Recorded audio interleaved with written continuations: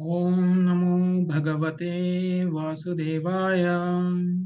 ॐ नमो भगवते वासुदेवाय।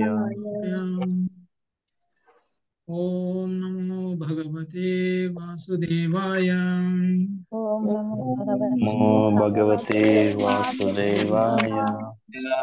ओम विष्णुपादाय कृष्णप्रेष्ठाय बुद्धे श्रीमते भक्तिवेदांत स्वामिने नमस्ते। सारस्वती देवी गौरवाणी प्रचारणे निर्विशेष शून्यवादी पाश्चात्य दक्षता जय श्री कृष्ण चैतन्य प्रभु नित्यानंद श्री अद्वैत गदाधर श्रीवासादि गौरव भक्त। हरे कृष्ण हरे कृष्ण कृष्ण कृष्ण हरे हरे हरे राम हरे राम राम राम हरे हरे। హరే కృష్ణ అందరికీ వెల్కమ్ అండి. మనము ముప్పై ఒకటవ శ్లోకం వరకు చదువుకున్నాం. ఎక్కడ వరకు చదువుకున్నాం అది ముప్పై ఒకటి. వరకు చదువుకున్నాం. ఓకే. ప్రభుజీ కామేశ్వరి మాతాజీకి వెళ్ళిన ప్రభుజీ కో హోస్ట్ కామేశ్వరి మాతాజీ కొంచెం కష్టమే. ప్రభుజీ. నేను చేయనా ప్రభుజీ? సత్యవతి మాతాజీ మీకు ఇస్తున్నాను అలాగే. ప్రభుజీ ఎన్నో స్కందం ఎన్నో అధ్యాయం అండి నాలుగో స్కందం మాతాజీ. అధ్యాయం? Four point twenty four point ఇరవై నాలుగో. అధ్యాయము ముప్పై ఒకటో శ్లోకం మాతాజీ. ఎనిమిదో అధ్యాయం అండి ఇరవై నాలుగు అండి ఫోర్త్ క్యాంటో. ఇరవై నాలుగో అధ్యాయము ముప్పై ఒకటో శ్లోకం హరే కృష్ణ. హరే కృష్ణ.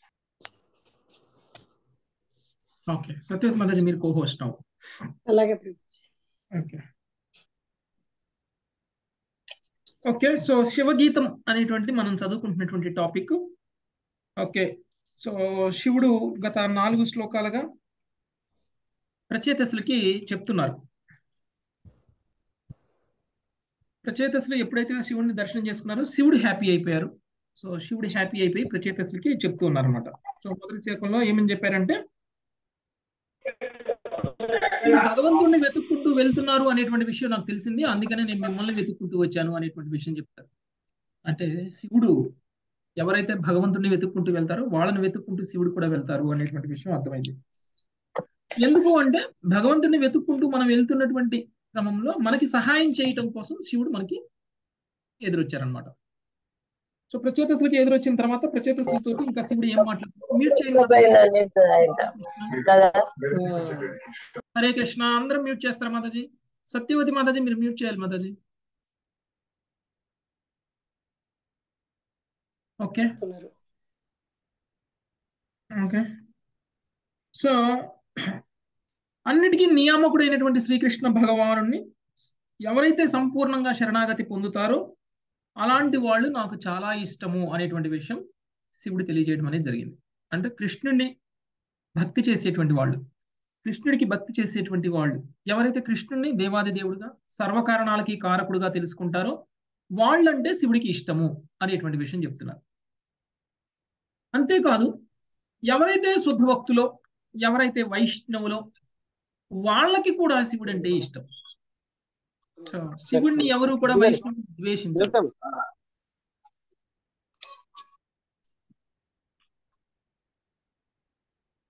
హరే కృష్ణ మీ అందరూ మ్యూట్ చేసేంత వరకు నేను ఆపుతాను మాతాజీ. చెప్పడం. ఓకే. సో ఎవరైతే శుద్ధ భక్తులో వాళ్ళకి కూడా శివుడు అంటే ఇష్టం. సో ఈ విషయం మనకి గత నాలుగు శ్లోకాల్లో చెప్పారు. అంటే శివుణ్ణి ద్వేషించేవాడు నిజమైనటువంటి భక్తుడు కాదు. నిజమైనటువంటి వైష్ణవుడు కాదు అనేటువంటి విషయం మనం అర్థం చేసుకున్నాం. ఇంకొకటి భాగవతుల గురించి మాట్లాడారు. భాగవతులు అంటే ఎవరో కాదు భాగవతులు అంటే భగవంతుడితో సమానము అనేటువంటి విషయం చెప్పారు. అంటే భాగవతులు భాగవతులను తక్కువ అంచనా వేయకూడదండి. భాగవతులకి ఎలాంటి గౌరవం ఇవ్వాలి? భగవంతుడికి ఇచ్చేటువంటి గౌరవాన్ని ఇవ్వాలి అనేటువంటి విషయం చెప్తున్నారు. భాగవతులు అంటే ఎవరు అంటే ఎవరైతే భాగవతాన్ని చదువుతారో ఎవరైతే భాగవతాన్ని వింటారో సో ఎవరైతే భాగవతాన్ని ఆచరిస్తారో సో భగవంతుడి భక్తుడిగా మారుతారు. అలాంటి వాళ్ళందరూ కూడా భాగవతులు. సో ఇలాంటి భాగవతులందరినీ భగవంతుడితో సమానమైనటువంటి గౌరవం ఇవ్వడం అనేది జరుగుతుంది. ఇంతవరకు చదువుకున్నామండి. ముప్పై ఒకటవ శ్లోకం నుంచి ఈరోజు చూద్దాం.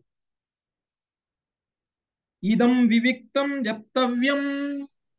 ఇదం వివిక్తం జప్తవ్యం. జప్తవ్యం పవిత్రం మంగళం పరం పవిత్రం మంగళం పరం పరం నిశ్రేయసకరం చాపి శ్రేయసకరం చాపి శ్రూయతాం తద్వదామి వహ శ్రూయతాం తదామి వః. చదవండి ప్రభుజీ ఎవరు చెప్తారు నేను చదువుతాను ప్రభు చదవండి మాతాజీ శ్రీదేవి మాత చదవండి శ్రీదేవి అడప మాతాజీ చదవండి. దివ్యమైనది. హరే కృష్ణ ప్రభుజీ వాయిస్ వినపడుతుందా? చదవండి. దివ్యమైనది పవిత్రమైనది మంగళకరమైనదే గాక జీవిత చరమ లక్ష్యమును సాధింపగోరువానికి సర్వోత్తమైనట్టి ఒక మంత్రమును నేనిప్పుడు వివర వినిపింతును. నేను దానిని జపించినప్పుడు శ్రద్ధతో ఆలకింపుడు. ఓకే. సో ఇప్పుడు ఒక మంత్రాన్ని శివుడు ప్రచేతసులకి ఇవ్వబోతున్నారు. సో ఆ మంత్రము మామూలుగా ఏ గురువు అయినా సరే శిష్యుడికి ఉపదేశం ఇస్తారు కదండి గురుపదేశం. సో ఇక్కడ శివుడు ప్రచేతసులకి గురువుగా అయ్యారు. సో గురువు యొక్క స్థానంలో శివుడు ఉన్నారు. సో శివుడు ఇప్పుడు ప్రచేతసులకి మంత్రాన్ని ఇవ్వబోతున్నారు. అయితే గురువు ఏం చెప్తున్నారండి ఇప్పుడు? నేను మంత్రాన్ని చెప్పేటప్పుడు మీరు శ్రద్ధగా ఆ మంత్రాన్ని ఆలపించండి ఆలకించండి అనేటువంటి విషయాన్ని తెలియజేస్తాను. భాష్యము ఇచ్చట వివిక్తం అను పదము ప్రధానమైనది. శివుడు పలికిన స్తోత్రమును ఏదో ఒక వర్గమునకు చెందినదిగా ఎవరునూ భావింపరాదు. పైగా అది పరమ రహస్యమైనది. కనుక జీవిత చర్మ సంపత్తి సంపత్తిని లేదా మంగళభరితమగు లక్ష్యమును పొందగోరువాడు శివుని ఉపదేశమును గ్రహించి ఆ మహిమా మహితాత్మ మహితాత్ముడు స్వయముగా ఉనర్చినట్లు దేవదేవుని ప్రార్థించి కీర్తించవలెను. ఓకే. సో ఇప్పుడు శివుడు ఇవ్వబోతున్నటువంటి మంత్రం యొక్క ప్రాముఖ్యత కూడా శివుడు ముందే చెప్పేశారు. సో అదే విషయాన్ని మనకి ప్రపాదల వారు కూడా భాష్యంలో చెప్తున్నారు. శివుడు ఇచ్చే ఇవ్వబోయేటువంటి మంత్రం ఏమిటి అని అంటే మన జీవితం యొక్క చరమ లక్ష్యాన్ని నెరవేర్చేటువంటిదంట. సో అదేమి సామాన్యమైన అంటే అదేమి భౌతికమైనది కాదు. ఓ ఏదో మంత్రం అని నోట్లో నుంచి చదివినంత మాత్రాన అది మామూలు భౌతికమైనటువంటి మాటలతో సమానమైనటువంటి మంత్రం కాదు అది. సో అందుకనే దాని యొక్క గొప్పతనం ఇక్కడ ఏమని చెప్పారు శివుడు ఇచ్చేటప్పుడు అంటే జీవితం యొక్క చరమ లక్ష్యాన్ని చేరాలి అని అనుకుంటే సాధించాలి అని అనుకుంటే దానికి అవసరమైనటువంటి మంత్రం ఇది అనేటువంటి విషయాన్ని తెలియజేస్తున్నారు. మైత్రేయ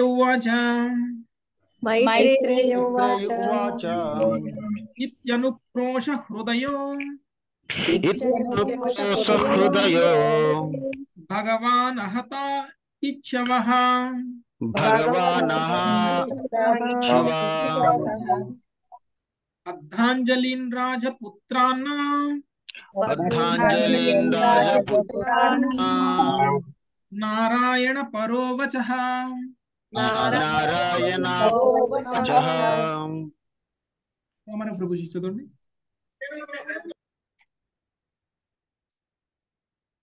రామారావు ప్రభుజీ ఆ హరే కృష్ణ ప్రభుజీ హరే కృష్ణ.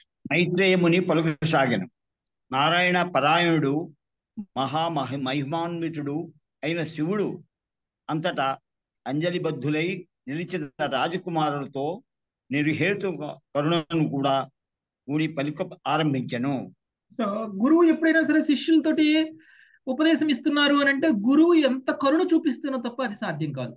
సో అది ఏదో మామూలుగా మనం మనం మాట్లాడుకున్నటువంటి మాటల్లో కాదు. గురువు యొక్క మంత్రం మనం చెవిలో పడడము అని అంటే దానికి మనకి గురువు యొక్క కృప మన మీద ఉండాలి. సో గురువు యొక్క కృప మన మీద లేకపోతే అది సాధ్యం కాదనమాట. సో మనం అనుకోవచ్చు. ఏముందిలేండి గురుదీక్షే కదా అందరు తీసుకుంటున్నారు మనం కూడా తీసుకోవచ్చులే అని అనుకోవచ్చు. కానీ అదంతా ఈజీ కాదనమాట. సో దానికి ఎంతో ఆ కృప ఉండాలి దానికి భగవంతుడి యొక్క అనుగ్రహం కూడా ఉండాలి గురువు యొక్క కరుణ కూడా ఉండాలి. సో అప్పుడు మాత్రమే మనము ఇలాంటి ఒక మంత్రాన్ని తెలుసుకోగలుగుతాం. సో ఆ విషయాన్ని మైత్రేయుడు విధుడితో తెలియజేస్తున్నారు అనమాట చూడండి. భాష్యము. రాజకుమారులను దీవించుటకు మరియు వారికి లాభములు చేకూర్చుటకు శివుడు తనంతట తానే అరుదించాను. మంత్రము మరింత శక్తివంతమగుటకు తాను స్వయముగా జపించి ఆ మంత్రమును జపించుడని రాజపుత్రులకు అతడు ఉపదేశించాడు విశుద్ధ భక్తుడు జపించినప్పుడు మంత్రము మరింత శక్తివంతమగును. హరే కృష్ణ మహామంత్రము స్వయముగానే శక్తివంతమైనప్పటికీ దీక్షా సమయమున శిష్యుడు దానిని గురువు నుండి గ్రహించును. లేలయన గురుదేవుడు జపించినప్పుడు ఆ మంత్రం మరింత శక్తివంతము కాగలదు. పదధ్యానముతో వినుట అపరాధము కనుక తాను పలుకున్నది శ్రద్ధతో ఆలకింపుడని రాకుమారులకు శివుడు ఉపదేశించను. హరే. కృష్ణ ప్రభు సో ఈ మంత్రోపదేశం జరిగేటప్పుడు కొన్ని నియమ నిబంధనలు ఉంటాయండి. సో ఆ నియమ నిబంధనల గురించి కూడా మాట్లాడుతున్నారు. ఈ మంత్రము అనేటువంటిది గురువు మనకి ఇచ్చేటువంటి మంత్రం మనకి ఇంతకుముందు తెలియని మంత్రం ఏం కాదు. తెలిసిన మంత్రమే. అది ఏ మంత్రమైనా సరే. హరే కృష్ణ మహామంత్రం కావచ్చు లేకపోతే ఇంకేదైనా ఇంకొక యుగానికి సంబంధించినటువంటి ఇంకా వేరే ఏ మంత్రమైనా కావచ్చు. ఒకవేళ తెలిసిన మంత్రమే అయినా సరే గురువు ద్వారా వింటే దాని యొక్క శక్తి వేరుగా ఉంటుంది. సో గురువు ద్వారా మన చెవుల్లో పడాలి. అందుకనే మనం మంత్రం వినేటప్పుడు ఒక చెవు మూసుకొని ఒక చెవితో వింటాం.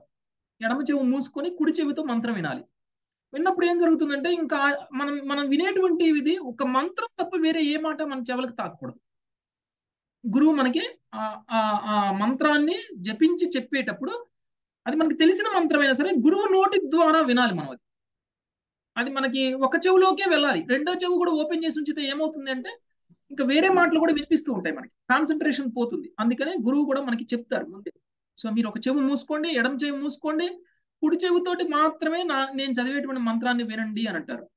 సో మంత్రం మామూలుగానే పవర్ఫుల్ ఎందుకంటే ఆ మంత్రం ఏమీ భౌతికం కాదు. అది ఆధ్యాత్మికమైనటువంటి మంత్రం. అంత భౌతికం కానటువంటి ఆధ్యాత్మికమైనటువంటి మంత్రం ఎంత పవర్ఫుల్ అంటే ఆ మంత్రాన్ని ఉచ్చరించడంతో మనలో ఉన్నటువంటి పాపాలన్నీ పోతాయి.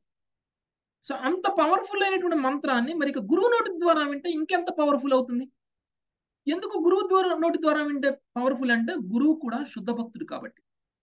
శుద్ధ భక్తుడు నోట్లో నుంచి విన్నటువంటి మంత్రానికి ఆ పవర్ ఉంటుంది. మనం అనుకోవచ్చు మంత్రదీక్ష తీసుకున్నటువంటి మీరు పదహారు మాలలు చేస్తున్నారు మంత్రదీక్ష తీసుకొని మేము కూడా పదహారు మాలలు చేస్తున్నాం ఇంకా మేము ముప్పై రెండు మాలలు కూడా చేస్తున్నాం యాభై మాలలు కూడా చేస్తున్నాము. మీకంటే మేమే ఎక్కువ చేస్తున్నాము పవర్ఫుల్ మాది అని అనుకోవచ్చు. కానీ గురువు ద్వారా ఆ మంత్రంని దీక్షగా మనం తీసుకోకపోతే ఆ పవర్ అనేది మనకి రాదు. ఆ మంత్రం యొక్క పవర్ అనేది మనకి పనిచేయదు అనమాట అంత అంటే మామూలుగా మంత్రం యొక్క పవర్ ఏ విధంగా మనకి పనిచేయాలో పనిచేస్తుంది. కానీ అది శుద్ధ భక్తుడి ద్వారా తీసుకోవడం వల్ల ఇంకా మనం ఇంకా ప్యూరిటీ అనేది పెరుగుతుంది అనమాట సో మైత్రేయుడు ఈ విషయాన్ని తెలియజేసిన తర్వాత మళ్ళీ శివుడు ఏం మంత్రం ఇవ్వబోతున్నాడు అనేటువంటి విషయం ఇక్కడ చెప్తున్నారండి శ్రీ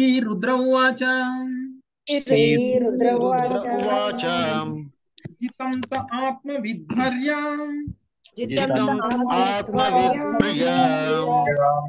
స్వస్తయే స్వస్తిరస్తు మే. అవతారాద సారార్థం దశారాధం సర్వస్మా ఆత్మనే నమ.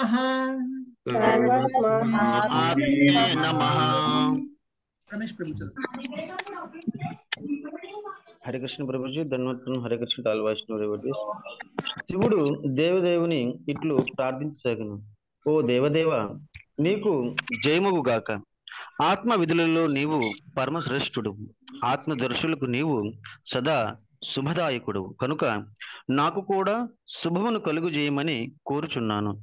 పూర్ణోపదేశములు నొసగడు నీవు పరమ పూజనీయుడు. నీవే పరమాత్ముడు కనుక పరమ నిత్యుడు అయిన నీకు వందనములను ఒసుకుచున్నాను ఓకే. సో శివుడు కృష్ణుడికి చేస్తున్నటువంటి ప్రార్థన ఇక్కడ స్టార్ట్ అవుతుంది. సో చాలా ఇంపార్టెంట్. అందరూ దయచేసి ఈ శ్లోకం మనం చెప్పుకునేటప్పుడు అందరూ కూడా అన్మ్యూట్ చేసి శ్లోకాన్ని రిపీట్ చేస్తే శివుడు కృష్ణుడికి చేసినటువంటి ప్రార్థన మనం కూడా చేసినట్లు అవుతుంది కృష్ణుడికి. సో దయచేసి అందరూ అన్మ్యూట్ చేసి మరి శ్లోకాన్ని చదవండి. అయితే ఇక్కడ శివుడు చేస్తున్నటువంటి ప్రార్థనలో శివుడు దేవదేవ నీకు జయమగు కాక. ఆత్మ విధులలో నీవు పరమశ్రేష్ఠుడవు. ఆత్మదర్శులకు నీవు సదా శుభదాయకుడవు కనుక నాకు కూడా శుభమును కలుగజేయమని కోరుచున్నాను. పూర్ణోపదేశములను వసగడి నీవు పరమ పూజనీయుడు నీవే పరమాత్ముడవు. కనుక పరమనిత్యుడమైనటువంటి నీకు వందనములను వసుగుచున్నాను.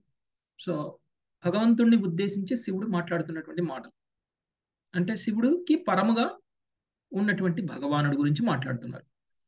సో ఆయన ఇచ్చేటువంటి ఉపదేశాలు పూర్ణమైనటువంటి ఉపదేశాలు. ఏదో అసంపూర్ణమైనటువంటి ఉపదేశాలు కాదు. అంటే మనకి ఇప్పుడు టీచర్స్ ఉంటారు కదా. మనకి ఉన్నటువంటి టీచర్స్ ఏవో కొన్ని చెప్తారు విషయాలు. మనం జ్ఞానాన్ని సంపాదించాము సర్టిఫికెట్లు పొందాము మనకి నాలెడ్జ్ వచ్చింది మనం అని అనుకుంటాం కదండి. మనం భౌతికంగా నేర్చుకునేటువంటి ఏ నాలెడ్జ్ అయినా సరే అది పూర్ణమైనటువంటి నాలెడ్జ్ కాదు.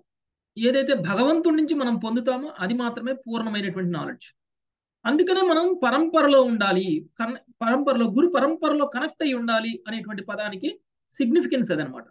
ఎప్పుడైతే మనం గురు పరంపరలో కనెక్ట్ అయి ఉంటామో అప్పుడు గురువు నుంచి మనం పొందేటువంటి మాటలు భగవంతుడి నుంచి పొందినటువంటి మాటలతో సమానం.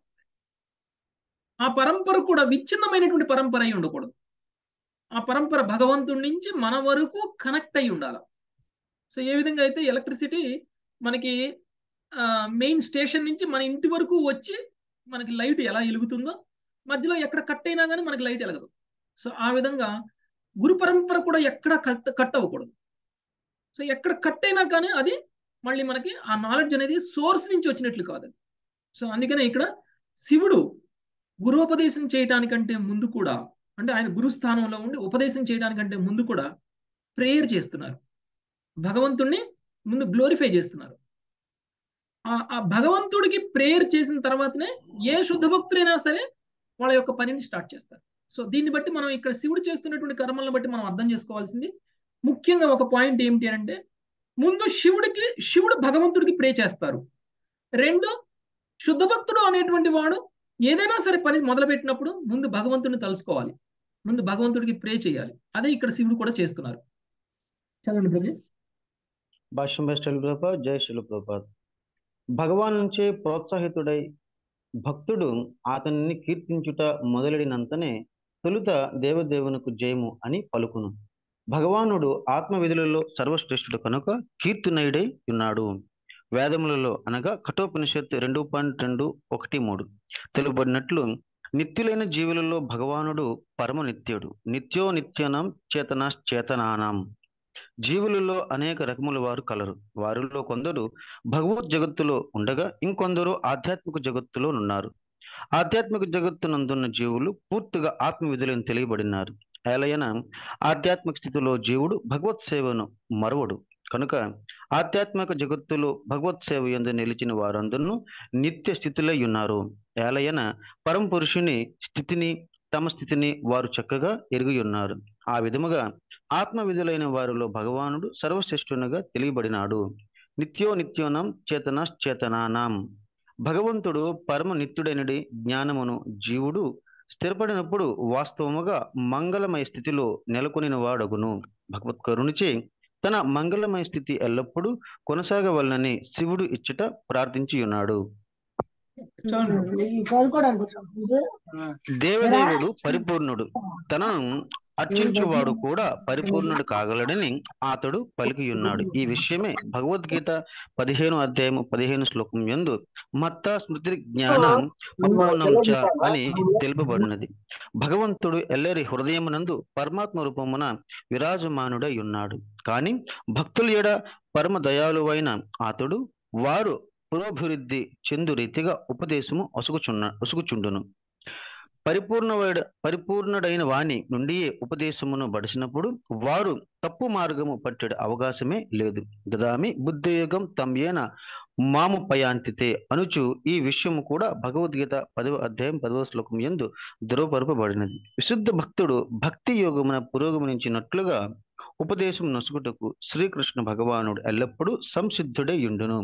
ఆ దేవదేవుడు సర్వాత్మునిగా అనగా పరమాత్ముడు ఉపదేశము నొసుగును కనుక శివుడు సర్వాత్మ ఆత్మనే నమ అనుచు స్థుతించుచున్నాడు జీవుడు ఆత్మయని పిలువబడును. భగవానుడు కూడా ఆత్మయనియు అంతియేగాక పరమాత్ముడనియు పిలువబడును. ఎల్లరి హృదయములలో వసించిన వాడై భగవానుడు దివ్యమైన ఆత్మగా అనగా పరమాత్ముడిగా తెలియబడును. కనుకనే అతనికి వందనములు ఒసగబడినవి. ఈ సందర్భమున శ్రీమద్ భాగవతమానందలి ప్రథమ స్కందములోని కుంతీదేవి ప్రార్థన ఒకటి పాయింట్ ఎనిమిది పాయింట్ ఇరవై.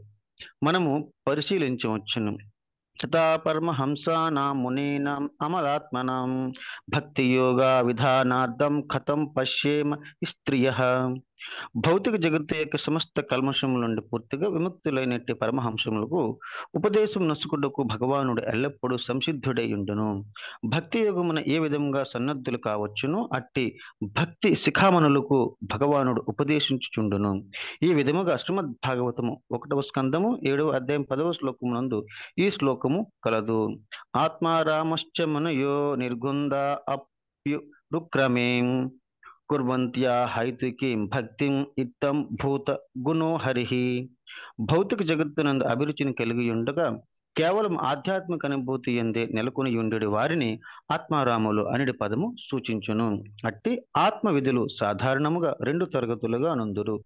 నిరాకారవాదులు సాకారవాదులు. అయినను భగవాను రూపలక్షణములచి ఆకర్షితులైనప్పుడు నిరాకారవాదులు కూడా భక్తులగుదురు. సారాంశం ఏమనగా శివుడు తాను వాసుదేవ పరాయణునిగా నిలువు కోరుచున్నాడు రాబో శ్లోకములలో వివరింపబడినట్లు శివుడు అన్నడు అనగా నిరాకారవాదుల వలె గాక భగవంతునితో ఐక్యము గా కోరడు పైగా భగవంతుడు పరమ నిత్యుడని స్థితిలో స్థితిలో నిలిచియుండుట తన మహద్భాగ్యమని అతడు తలుచును.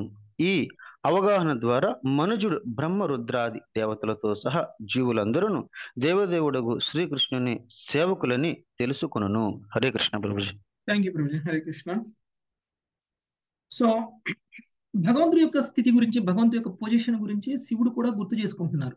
సో అంటే శివుడు ఆ, మనకి ఇక్కడ చెప్తారు బ్రహ్మరుద్రాది దేవతలతో సహా జీవులందరూ కూడా దేవదేవుడైనటువంటి శ్రీకృష్ణుడికి సేవకులే.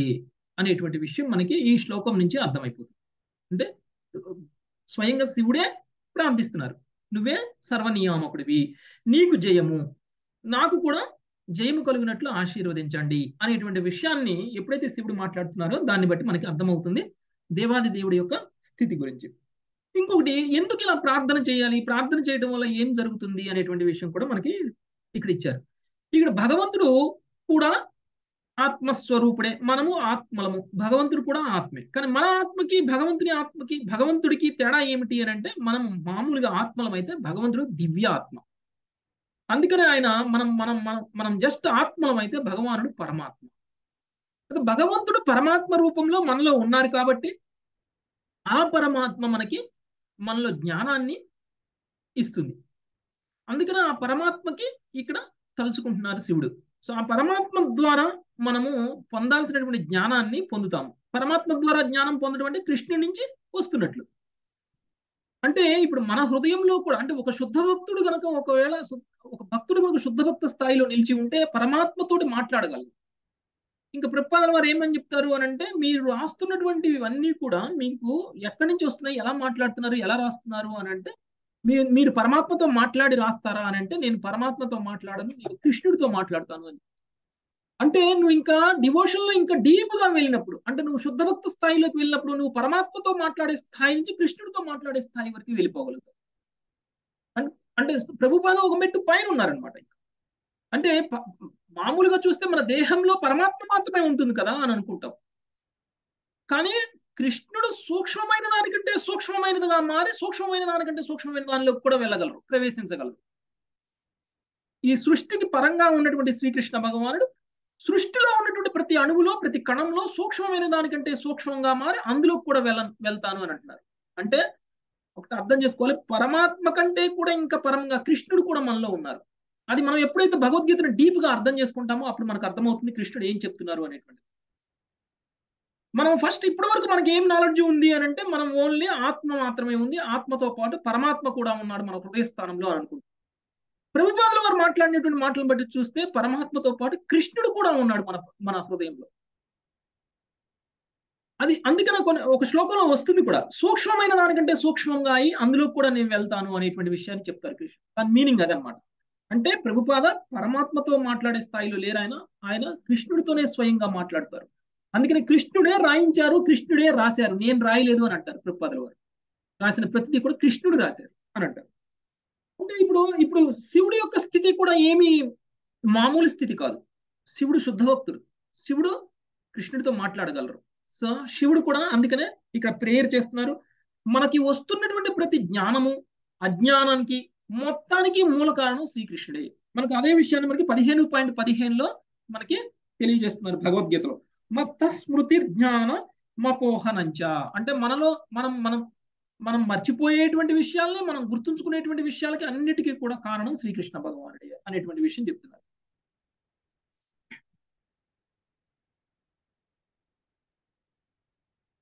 సో ఇంకొక విషయం ఇంకొక విషయం. జనరల్గా నిరాకారవాదులు శివుడికి భక్తులై ఉంటారు. సో జనరల్ నిరాకారవాదులు శివుడికి భక్తులై ఉన్నప్పుడు వాళ్ళు ఏమనుకుంటారు అని అంటే నేను నిరాకారంలో లీనమైపోవాలి అని అనుకుంటారు. కానీ ఇక్కడ శివుడు ప్రేయర్స్ చూస్తుంటే శివుడు నిరాకారాన్ని నమ్మరు. శివుడు నిరాకారాన్ని నమ్మేవాడైతే ఆయన నీకు వందనములు నీవు పూజనీయుడవు అంటే ఒక వ్యక్తిని సంబోధిస్తున్నట్టు సంబోధిస్తున్నారు ఇక్కడ. నువ్వు పూజనీయుడువు నువ్వు ఆత్మారాముడివి అనేటువంటి విషయాన్ని మాట్లాడుతున్నారు. అంటే శివుడేమి భగవంతుని నిరాకారుడు అని అనట్లేదు. శివుడేమి నిరాకారాన్ని నమ్మట్లేదు. శివుడు మాత్రం సాకార రూపాన్ని నమ్ముతున్నారు. శివుడు నిరాకారవాదులు ఆయన్ని పూజిస్తున్నా కానీ కానీ శివుడు యొక్క లక్ష్యం నిరాకారంలో లీనమైపోవాలి అని అనుకోవడం కాదు. భగవంతుని ప్రార్థిస్తున్నారు. ప్రార్థిస్తున్నారు అంటే సాకార రూపాన్ని ఆయన నమ్ముతున్నారు. ఆయన లీనమైపోవాలని ఇప్పుడు అనుకోరు. కానీ ఆయన భక్తులు ఎవరైతే ఉన్నారో ఎవరైతే నిరాకారాన్ని నమ్ముతున్నారో వాళ్ళు తప్పుగా అర్థం చేసుకుంటున్నారు అనేటువంటి విషయం గుర్తు చేస్తుంది. సో రెండవ శ్లోకం. శివుడు ప్రేయర్స్లో రెండవ శ్లోకం అండి. నమ పంకజ నాభాయ నమ పంకజనాభాయ భూత సూక్ష్మేంద్రియాత్మనే భూత సూక్ష్మేనియాత్మనే వాసుదేవాయ శాంతాయ వాసుదేవాయ శాంతాయ కూటస్థాయ స్వరోచిషే కూటస్థాయ సోచిషే సత్యవతి మాతాజీ చదువు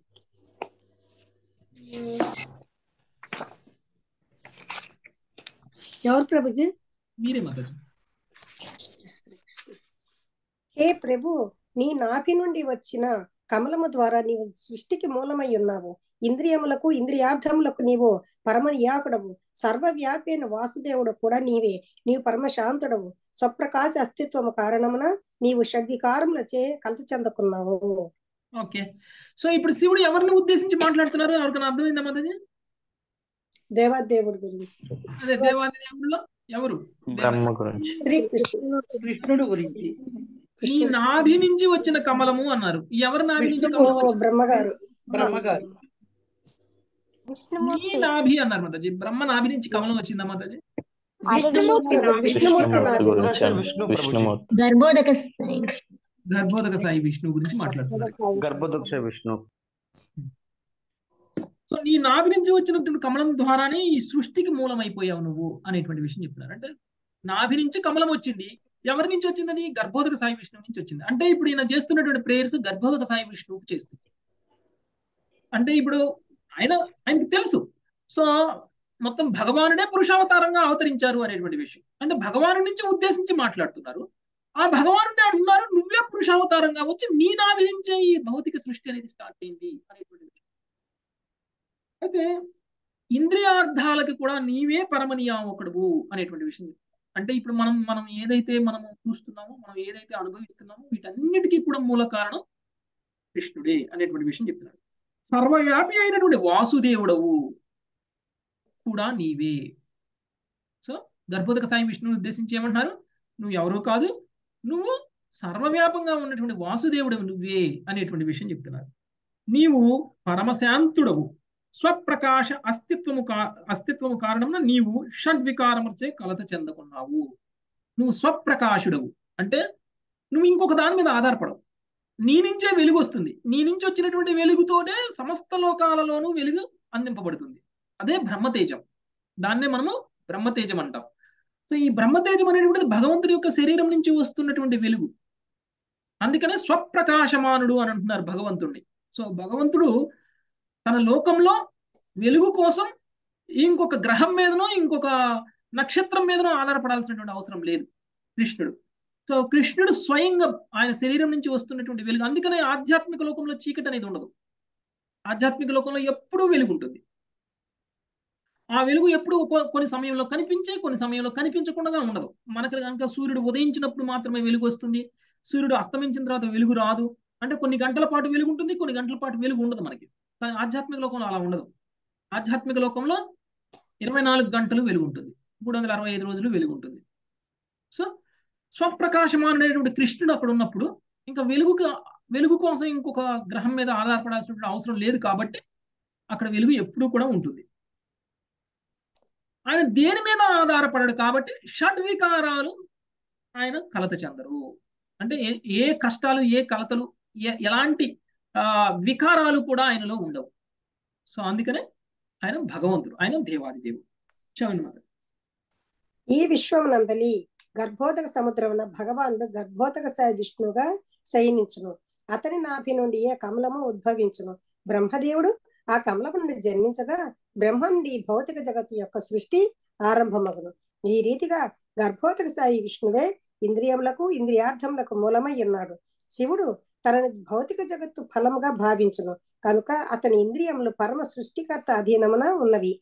శ్రీకృష్ణ భగవానుడు హృషికేశుడని అంటే ఇంద్రియాలకు ప్రభువుగా తెలుపబడును. మన ఇంద్రియములు ఇంద్రియార్థములు ఆ దేవదేవుని చేతని రూపొందించబడినవి అని ఈ విషయము సూచించును. ఈ ప్రకారము అతడు మన ఇంద్రియాలని నియంత్రించి నిధిహేతుక కరుణతో వానిని ఋషికేశ్వరం తన సేవలో నియోగించగలడు. బద్ధస్థితి అందు జీవుడు భౌతిక జగన్మ తీవ్ర సంఘర్షణ సల్పుచు ఇంద్రియములను భౌతిక సంతృప్తిలో వినియోగించును. కానీ అతడు భగవద్ అనుగ్రహమున పడచినచో అవే ఇంద్రియములను భగవత్ సేవలో నిలుపగలడు. ఇంద్రియములచే దారి తప్పక భౌతిక కల్మషములకు ప్ర దూరుడే ఎల్లప్పుడు తాను భగవత్ సేవలో నిలిచి ఉండవలనని శివుడు వాంఛించుచుండను. సర్వవ్యాపి అయిన వాసుదేవుని అనుగ్రహం చేత సహాయం చేతను మనుజుడు తన ఇంద్రియములను అన్ అనన్యముగా భక్తి యోగమున నెలకొల్పగలడు.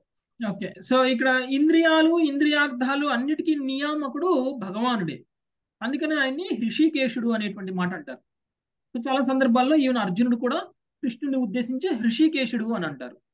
అందుకనే ఇక్కడ ఏమంటున్నారు అని అంటే ఈ ఇంద్రియా ఇంద్రియాలు ఏవైతే ఉన్నాయో వీటిని నియమించేవాడి నువ్వే ఇంద్రియార్థాలు కూడా నీ ఆధీనంలోనే ఉన్నాయి కాబట్టి మా ఇంద్రియాలన్నీ కూడా నీ సేవలోనే ఉండాలి అనేటువంటి విషయం ఆయన చెప్తున్నారు. అంటే ఇప్పుడు శివుడు కూడా ఏమంటున్నారు ఇక్కడ అనంటే శివుడు కూడా ఈ యొక్క భౌతిక సృష్టి యొక్క ఫలమే అని అనుకుంటున్నారు. అందుకనే శివుడు కూడా తన ఇంద్రియాలను కూడా భగవత్ సేవలోనే ఉపయోగించాలి అని అనుకుంటున్నారు. మనం మనం ఎలా అయితే మన ఇంద్రియాలని భగవత్ సేవలో ఉపయోగించాలో అలా అదే విధంగా శివుడు కూడా తన ఇంద్రియాలని భగవత్ సేవలోనే ఉపయోగించాలి అని అనుకో. కానీ మనం ఏం చేస్తున్నాము అని అంటే మనం మన ఇంద్రియాలని మన యొక్క ఎంజాయ్మెంట్ కోసం ఉపయోగిస్తున్నాం. మనం ఆనందంగా ఉండడం కోసం మనం సంతృప్తిగా ఉండడం కోసం భౌతికంగా సుఖంగా ఉండడం కోసం మనం మన ఇంద్రియాలను ఉపయోగిస్తున్నాము. అలా చేస్తే అది కరెక్ట్ సేవ కాదు ఇంద్రియాలని సరి అయిన పద్ధతిలో ఉపయోగించినట్లు కాదు.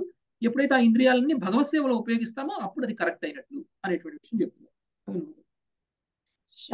అలా ఇంద్రియాలన్నింటినీ అలా ఇంద్రియాలన్నింటినీ భగవత్ సేవలో ఉపయోగించడమే భక్తి యోగం.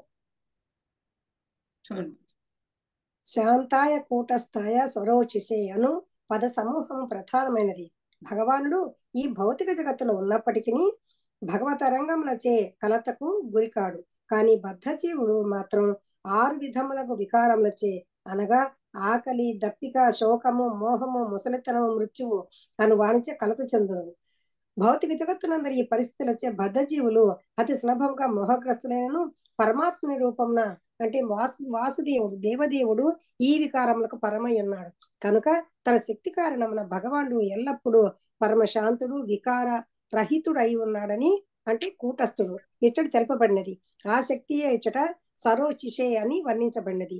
దన దివ్య స్థితిచే అతడు ప్రకాశమానుడని సూచించును. అనగా జీవుడు భగవాను తేజంలోనే ఉన్నప్పటికీ తన అల్పత్వం వల్ల కొన్ని మార్లు ఆ తేజం పతనం చెంది బద్ధ భౌతిక జీవన స్థితిలోకి ప్రవేశించడు కానీ భగవంతుడు దానికి అతీతుడు. అతడు స్వయం ప్రకాశమానుడని వివరించబడినది. కనుక భౌతిక విశ్వములందు ఏ బద్ధ జీవుడైనను వాసుదేవుని రక్షణమున నిలిచినప్పుడు లేదా భక్తి యోగమున నెలకొన్నప్పుడు పూర్తిగా పరిపూర్ణ కాగలడు. హరే కృష్ణ. హరే కృష్ణ. థ్యాంక్స్ మందజీ సో ఇక్కడ షడ్వికారాల గురించి మాట్లాడారు. ఇందాక శివుడు నీకు షడ్వికారాలు లేవు అనేటువంటి విషయాన్ని తెలియజేశారు. భగవంతుడికి షడ్వికారాలు ఉండవు. సో షడ్వికారాలు ముఖ్యంగా ఆరు వికారాలు వాటి గురించి ఇక్కడ చెప్పారండి. ఆకలి దప్పిక శోకము మోహము ముసలితనము మృత్యువు. ఆకలి దప్పిక శోకము మోహము ముసలితనము మృత్యువు. ఈ ఆరు వికారాలు లేనటువంటి వాడే భగవానుడు. సో మామూలుగా మనకి కలియుగంలో చాలా మంది భగవంతుళ్ళు ఉన్నారు. అందరూ నేను భగవాను నేను భగవానుడిని అని చెప్పుకుంటారు. సో వీళ్ళలో ఎవరికైనా ఇలాంటి ఒక లక్షణం ఉన్నదా? ఉంటే కనుక వాళ్ళని భగవంతుడిగా మనం అంగీకరించవచ్చు. అందుకని భగవంతుడు ప్రతి చోట కూడా ఆయన యొక్క లక్షణాలను తెలియజేస్తూ ఉంటారు. సో నేను ఎలా ఉంటాను? ఆయన భక్తులు కూడా ఆయన గురించి మాట్లాడినప్పుడు ఆయన గురించి ప్రేయర్ చేసినప్పుడు భగవంతుడి యొక్క గొప్పతనాన్ని ప్రార్థిస్తూ ఉంటారు. సో ప్రార్థించినప్పుడు మనకు అర్థమవుతుంది భగవంతుడు ఏమిటి అనేటువంటి విషయం. కాబట్టి ఈ షడ్వికారాలు అందుకని కృష్ణుడు చూడండి. ఆ మనకి కురుక్షేత్ర యుద్ధం జరిగేటువంటి సమయంలో కృష్ణుడికి సుమారుగా డెబ్బై సంవత్సరాలు ఎనభై సంవత్సరాలు ఆ ఎనభై సంవత్సరాల వయసులో కూడా కృష్ణుడు నవయవ్వనుడుగానే కనిపిస్తాడు. కృష్ణుడిని ఎక్కడైనా ముసలి ముసలి వ్యక్తిగా చూడటం మనం ఎక్కడైనా చూసామా? లేదు. వయసు అందుకని ఈవెన్ గోలోక బృందావనంలోకి వెళ్ళినా కానీ అక్కడ కూడా కృష్ణుడు ఎప్పుడు కూడా ఒకే వయసులో ఉంటారు. అది కూడా నవయవ్వనంతో ఉంటారు. పదహారేళ్ళ బాలుడుగానే ఉంటారు ఎప్పుడు కృష్ణుడు అక్కడ. సో మన ఒక మ- మధ్య వయసు వచ్చినటువంటి వ్యక్తిలాగా మనకి కనిపించరు కృష్ణుడు. సో ఎప్పుడు కూడా బాలుడుగానే కనిపిస్తారు. అక్కడ కూడా నవయవ్వనంతో ఉంటారు అనమాట కాబట్టి సో ఈ భక్తి యోగంలో కనుక మనం నిలి నిలిస్తే ఏమిటి మనకు లాభము అనేటువంటి విషయం ప్రభుపాదుల వారు చెప్తున్నారు. ఇంతకుముందు శివుడు భక్తి యోగంలో ఉండాలి ఆయన ఇంద్రియాలను కూడా భక్తిలోనే నియోగించాలి అని అనుకున్నారు. కృష్ణుడు ఏం చెప్తున్నారు ప్రభుపాదుల వారు ఏం చెప్తున్నారు అంటే భక్తి యోగంలో ఉండడం వల్ల ఏ విధంగా అయితే భగవానుడు షడ్వికారాలకి ఆ అతీతంగా ఉంటారో షడ్వికారాలు ఆయనకి లోను కాకుండా ఉంటాయో మనము కూడా మనము కూడా ముక్తిని పొందితే ఈ షడ్వికారాల నుంచి దూరమైపోతాం ఎందుకు? మనం భగవంతుడి యొక్క రక్షణలో ఉంటాం.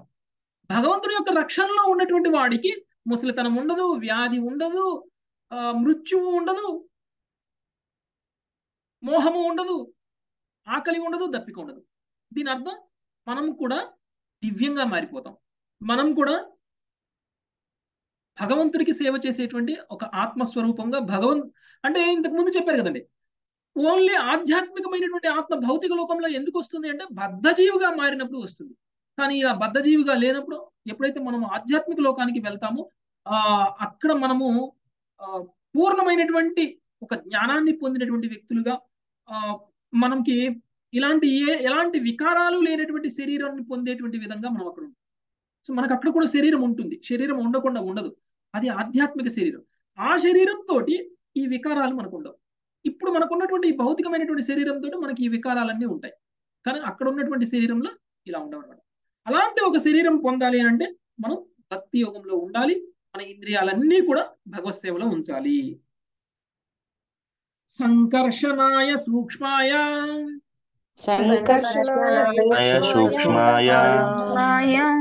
దురంతాయాంతకాయ చ.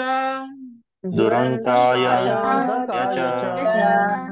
నమో విశ్వ ప్రబోధాయ నమో విశ్వ ప్రబోధాయ ప్రద్యుమ్నాయాంతరాత్మనే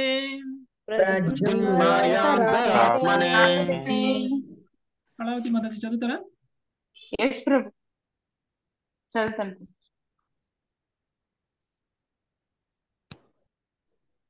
ప్రభుజీ ఈ రోజుది వీడియో పెడతారా ప్రభుజీ నేను లేట్గా జాయిన్ పెడతాను. చదవండి. ఒక సెకండ్ ప్రభుజీ బుక్ తీసుకుంది హరే కృష్ణ ఓ దేవా సూక్ష్మతత్వములకు మూలమే గాక లయకారకుడును అయినట్టి సంకర్షణుడు సంకర్షణుడవు నీవే. బుద్ధికి అధిష్ట అధిష్టాతయగు ప్రద్యుమ్నుడువు నీవే. అట్టి నీకు వందనములు. భాష్యం చదివేసేదా ప్రభుజీ. చదవండి భాష్యం. సమస్త విశ్వము సంకర్షణ నిరూపమున భగవానుని పూర్ణ శక్తిచే పోషించబడుచుండును. భౌతిక శక్తి ఎందు వస్తువులు ఏ విధముగా నిలిచియున్నవో తెలియజేసడి గురు గురుత్వాకర్షణ సిద్ధాంతమును భౌతిక శాస్త్రజ్ఞులు కనిపెట్టి ఉండవచ్చునేమో కానీ సంఘర్షణుడు తన ముఖము నుండి బయల్పడే బయల్వెడవెళ్ళడి ప్రళయాగ్నిచే సమస్తమును నశింపజేయగలడు. భగవానుని విశ్వరూపము వర్ణించబడిన భగవద్గీత ఎందలి ఏకాదశాధ్యాయమున ఈ విషయమును గూర్చిన వర్ణను వర్ణనను మనము గాంచవచ్చును. అనగా జగత్తును సంఘటిత ప- పరచడివాడే తన ప్రళయాశక్ ప్రళయ శక్తిచే లయకారుడు కూడా అయి ఉన్నాడు. కాగా వాసుదేవుని అయి ఉన్నాడు కరెక్ట్ కాగా వాసుదేవుని మరి ఒక రూపమైన ప్రద్యుమ్నుడు విశ్వ వికారమునకు బాధ్యుడై ఉన్నాడు. ఈ స్థూల దేహముననే మనస్సు బుద్ధి అహంకారము అనడి సూక్ష్మ దేహములు నిలిచి ఉన్నందున సూక్ష్మయ అను పదము ప్రధానమైనది. ఇక భగవంతుడు వివిధ రూపములలో వాసుదేవుడు అనిరుద్ధుడు ప్రద్యుమ్నుడు సంకర్షణుడు. విశ్వమునందలి స్థూల సూక్ష్మ తత్వములను పోషించుచుండును. భగవద్గీత ఎందు తెలుపబడినట్లు భూమి జలము అగ్ని వాయువు ఆకాశమునుని స్థూల తత్వములు కాగా మనస్సు బుద్ధి అహంకారమును సూక్ష్మ తత్వములు వాసుదేవుడు సంకర్షణుడు ప్రద్యుమ్నుడు అనిరుద్ధుడు అనేది రూపములలో దేవదేవుని చేతనే అవన్నీయును నియంత్రించబడును.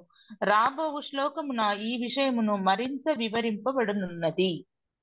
హరే కృష్ణ ప్రభు రైట్ మాతాజీ థ్యాంక్ యూ భగవంతుడు యాక్చువల్గా మనము మనకి మనకి తెలిసినటువంటి విషయాలు మనకి చెప్పినటువంటి విషయాలు మనకి భాగవతంలో పూర్తిగా ఇంకా అన్ని అంత డెప్త్గా మనకి అన్ని అర్థం కావు.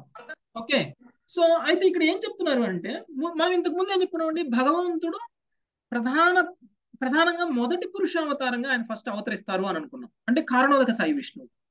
కారణోదక సాయి విష్ణువు నుంచి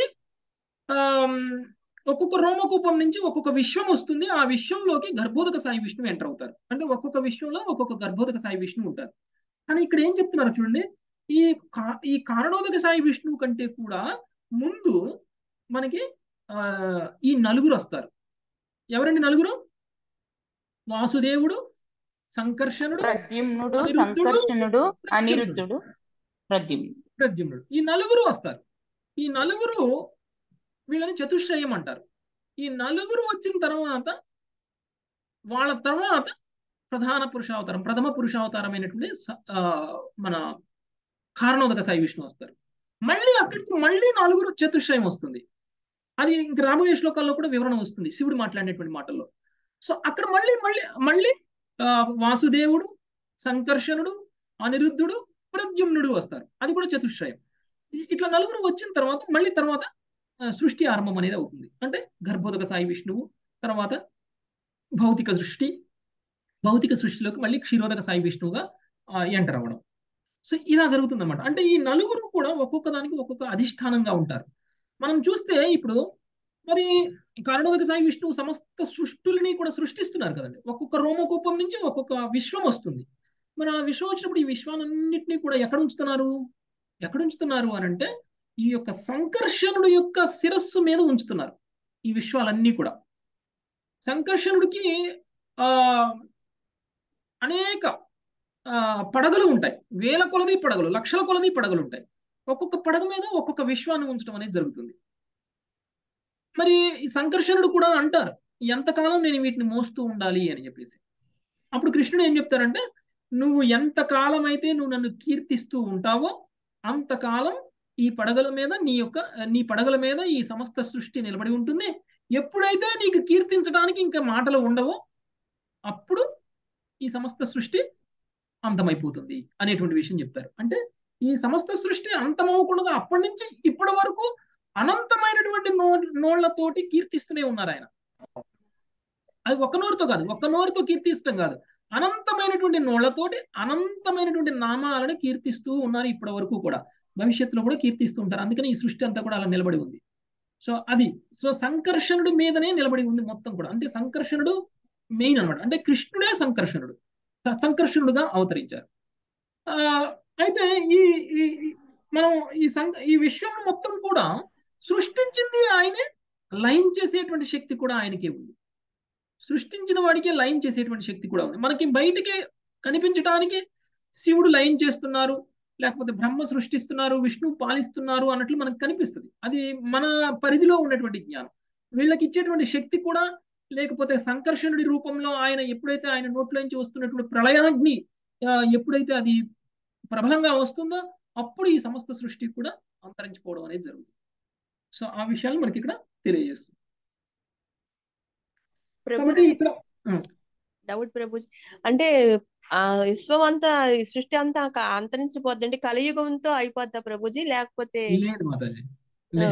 ఇంకా చాలా యుగాలు రావాలి. కలియుగాలు కూడా ఇంకా చాలా సార్లు అంటే అప్పుడు ఆ ప్రభుజీ అంటే సంకర్షణుడు ఇంకా ఆ తర్వాత కూడా ఇంకా నామాలు చెప్తూనే ఉంటాడు చెప్తూనే ఉంటారు. చెప్తూనే ఉంటారు. అనంతమైన మళ్ళీ రిపీట్ అవ్వకూడదు. ఒక పేరు రిపీట్ అయిపోతే మళ్ళీ ఇంకా అక్కడ ఫ్లాప్ అయిపోయినట్టే. అదే. చెప్పిన పేరు చెప్పకుండా కొత్త కొత్త పేర్లను కీర్తిస్తూనే ఉంటారు. అది ఒక నోటితో కాదు. లక్షల కోట్ల నోరలతోటి అన్ని కీర్తి అంత కీర్తి ఉంది భగవంతుడికి. అనంతుడు అంటారు కదా ప్రభుజీ అవును అనంతుడు ఓకే నెక్స్ట్ శ్లోకం ముప్పై ఆరు. నమో నమో అనిరుద్ధాయ. నమో నమో అనిరుద్ధాయ. ఆయా ఋషికేంద్రియాత్మనే ఆత్మనే నమః పరమహంసాయ నమః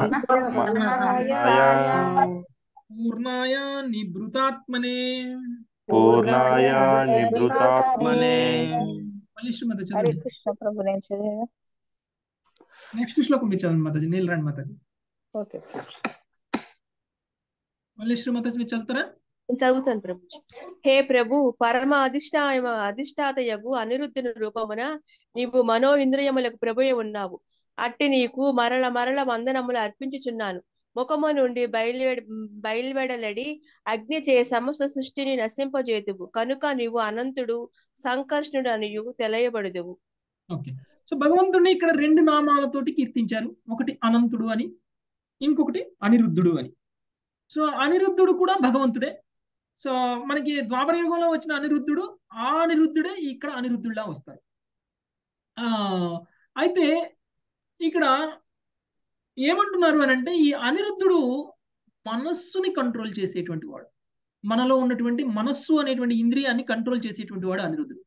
మన మనసు కనుక నిలకడగా లేదనుకోండి మన మనసు కనుక స్థిరంగా ఉండట్లేదు అనుకోండి మనసుని కంట్రోల్ చేయలేకపోతున్నాం అనుకోండి అప్పుడు మనం అనిరుద్ధుడిని పూజిస్తే అనిరుద్ధుడికి కనుక మనం వర్షిప్ చేస్తే మన మనసు స్థిమితం అవుతుంది మన మనసుతో ఉన్నటువంటి ప్రాబ్లమ్స్ మనకి సాల్వ్ అవుతాయి. కాబట్టి అనిరుద్ధుడు మనస్సుకి ప్రభు అయి ఉన్నాడు. మనస్సు అనేటువంటి ఇంద్రియానికి ప్రభు అయి ఉన్నారు. ఇక రెండవ రూపం గురించి మాట్లాడుతున్నారు. అనంతుడు గురించి. అనంతుడు అన్న సంకర్షణుడు అన్న ఒకటే. ఈ అనంతుడే ఈ సమస్త సృష్టిని నశింపజేసేటువంటి శక్తి కలిగినటువంటి వాడు. సో అంత శక్తి ఉంది. అది కూడా నువ్వే అనేటువంటి విషయాన్ని తెలియదు శివుడు చెప్తున్నారు అనమాట అనంతుడివి నువ్వే అనిరుద్ధుడివి నువ్వే. అందుకు నీకు మా వందనాలు అనేటువంటి విషయాన్ని తెలి- తెలియజేస్తారు చదవండి మాత. భాష్యము. కృషి కేసేంద్రియ ఆత్మనే మనసు ఇంద్రియములకు అధిష్టాత కాగా అనిరుద్ధుడు మనసునకు అధిష్టాతయై ఉన్నాడు. భక్తి యోగ నిర్వహణకు మనస్సును శ్రీకృష్ణ పాదార బిందముల చెంత సంలగ్నము కావింపవలసి ఉండెను. కనుకునే తన మనసు కృష్ణ పాదార బిందముల చెంత నిలుచుచున్నట్లుగా తోడ్పడమని శివుడు అనిరుద్ధుని అన్- అనగా మనసునకు అధిష్టాత అని ప్రార్థించుచున్నాడు. మన్మనాభవ మద్భక్తో మధ్యాజిమాం నమస్కురు అని భగవద్గీతలో తెలపబడినది. భక్తి యోగమునందు కృష్ణ పాద పద్మముల చెంతనే మనసును ధ్యానమగ్నము కావింపవలను. మత్త స్మృతి జ్ఞానమపోహానం చ అని కూడా భగవద్గీత పదిహేను పాయింట్ పదిహేను ఎందుకు తెలపబడినది. అనగా స్మృతి జ్ఞానము మరుపు దేవదేవుని వల్లే కలుగుచున్నవి. కనుక అనిరుద్ధుడు ప్రసన్నుడైనచో మనస్సు భగవత్ సేవలు నెలకొనుటకు సహాయపడగలదు. అనిరుద్ధుడు తన అంశసే సూర్యదేవుడు కూడా అయి ఉన్నాడు. అయి ఉన్నాడని ఈ శ్లోకమున సూచించబడినది. సూర్యదేవుడు అనిరుద్ధుని అంశయగుట వలన శివుడు అతనిని కూడా ఈ శ్లోకము ప్రార్థించుచున్నాడు. చదువున ప్రభు శ్రీకృష్ణ భగవానుడు తన చతుర్యూహము అనగా వాసుదేవుడు సంకర్షణుడు ప్రద్యుమ్నుడు అనిరుద్ధుడు ద్వారా ఆలోచన అనుభూతి అభిలాష ప్రవర్తన అనేది మానసిక క్రియలను ప్రభువే ఉన్నాడు. శివుడు ఇచ్చట అనిరుద్ధుని సూర్యదేవుని రూపమున ప్రార్థించుచున్నాడు. ఆ సూర్యుడే దేహ నిర్మాణములకు అవసరమయ్యేటి భౌతిక తత్వములకు అధిష్టాత. శ్రీల విశ్వనాథ చక్రవర్తులు గారి చక్రవర్తుల వారి అభిప్రాయమును అనుసరించి పరమహంస అనునది సూర్యుని మరి యొక్క నామము. ఈ శ్లోకమున సూర్యుడు నిభృతాత్మనే అని సో సంబోధింపబడినాడు వర్షము కురిపించుట ద్వారా అతడు లోకములను పోషించునని అది సూచించును. సముద్రము నుండి నీటిని గ్రహించి మేఘరూపమున భూమండలం అంతయు దానిని అతడు పంచును. తగినంత వర్షము కురిసినప్పుడు పుష్కలముగా ధాన్యోత్పత్తిని జరిగి దానిచే జీవుల పోషణము జరిగిపోవును. సూర్యుని నుండి బయలువేడలడి కిరణములను అంతము లేదు. కనుక అతడు ఇచ్చట పూర్ణుడనియు సంబోధింపబడినాడు. విశ్వ సృష్టి మొదలుగా కోటాను కోట సంవత్సరముల నుండి సూర్యుడు ఏ మాత్రము తక్కువ కాకుండా ఉష్ణమును కాంతిని ప్రసరించుచున్నాడు. పరమహంస అనే పదము పరమ పవిత్ర పరమ పవిత్రులైన వారికి అన్వయించు అన్వయించును.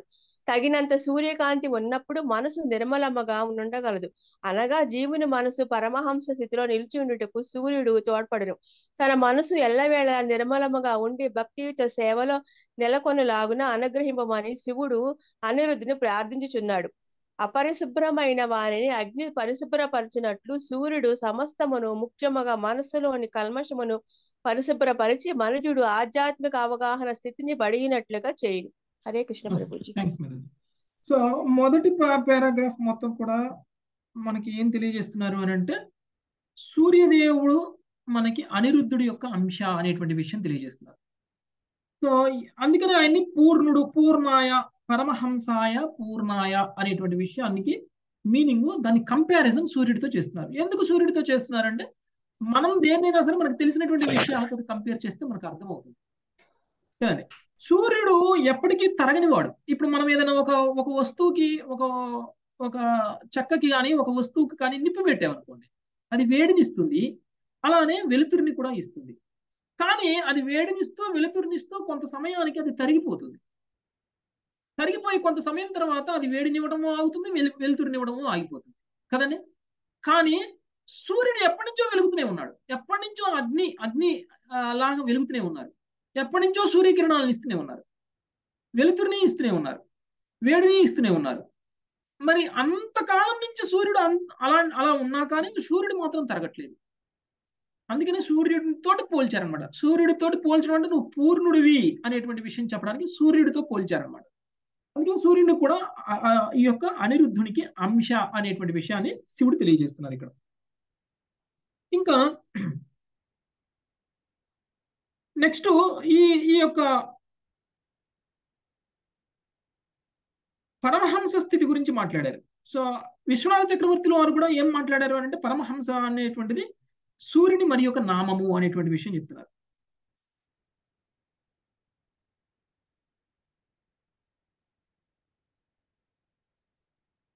కృష్ణుడు మన్మనాభవ మద్భక్తు అంటే ఇప్పుడు ఎందుకు మనం అధిష్టాన దేవతగా కొంతమందిని పూజించాలి అంటే ఇప్పుడు అనిరుద్ధుని పూజించడం వల్ల ఏం జరుగుతుంది అనేటువంటి విషయం ఇక్కడ పారాగ్రాఫ్లో ఇస్తారు అనిరుద్ధుని పూజించడం వల్ల మనస్సు భగవంతుడి చింతనలో ఉండిపోతుంది. సో ఎప్పుడైతే మనస్సు భగవంతుడి చింతనలో ఉండిపోతుందో అప్పుడు ఈ మనస్సు ఇంద్రియాలను కంట్రోల్ చేయడం అనేది ఆపేస్తుంది. సో ఇంద్రియాలన్నిటికీ మనసు ప్రభు అయితే మనసుకి అనిరుద్ధుడు ప్రభు సో అందుకనే ఈ మన ఎప్పుడైతే అనిరుద్ధుడిని వర్షిప్ చేయడం వల్ల ఏమవుతుంది అంటే మనస్సు అనేటువంటిది భక్తిలో నిండిపోతుంది. ఎప్పుడైతే మనసు భక్తిలో ఉంటుందో అప్పుడు ఇంద్రియాలన్నీ కూడా భక్తిలో ఆ, ఉపయోగించబడతాయి. ఓకే. నెక్స్ట్ ముప్పై ఏడవ శ్లోకం అండి. స్వర్గాపవర్గ ద్వారాయ స్వర్గాపవర్గద్వారాయ. నిత్యం శుచిషదే నమ. నిత్యం శుచిసదే నమః. నమో హిరణ్య వీర్యాయ నమో నమో హిరణ్యవీరాయ చతుర్హోత్రాయ తంతవే చతుర్హోత్రాయ తంతవే తంతవే నీలరండి మాతాజీ, చదువు.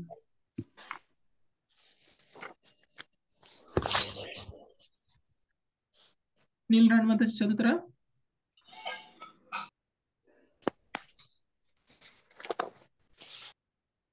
నేను చదవనా ప్రభు చదవండి మాతాజీ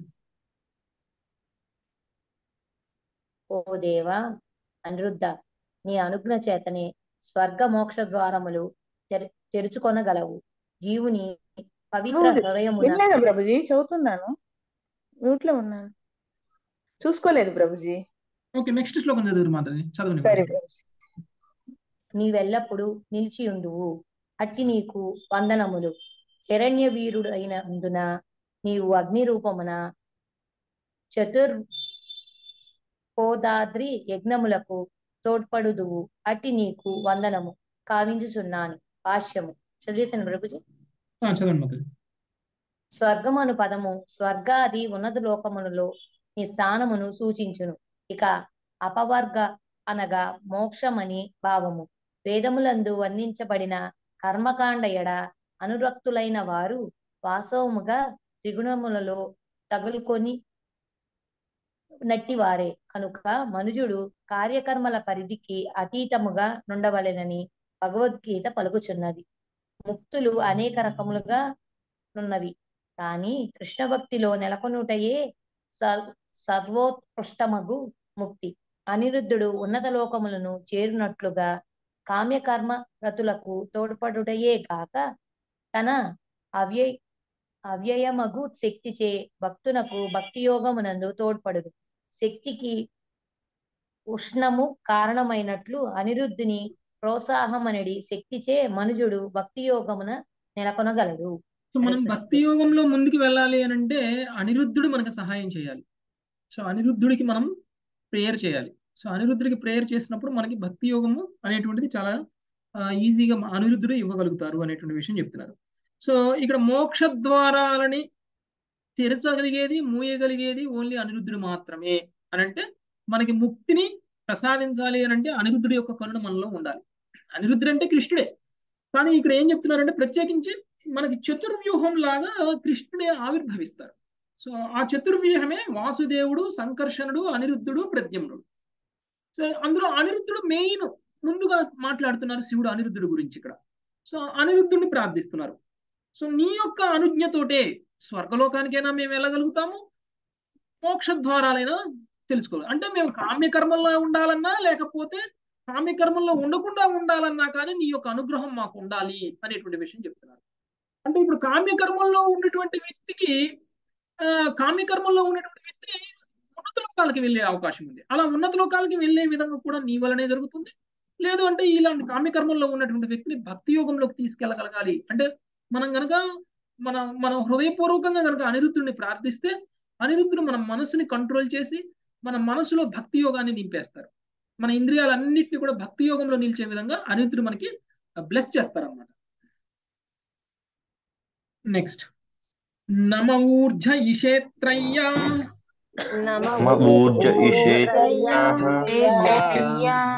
పతయే యజ్ఞ రేతసే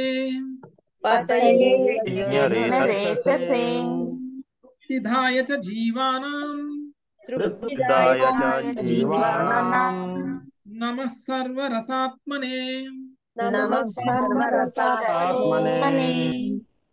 మాతాజీ నీళ్ళు రండి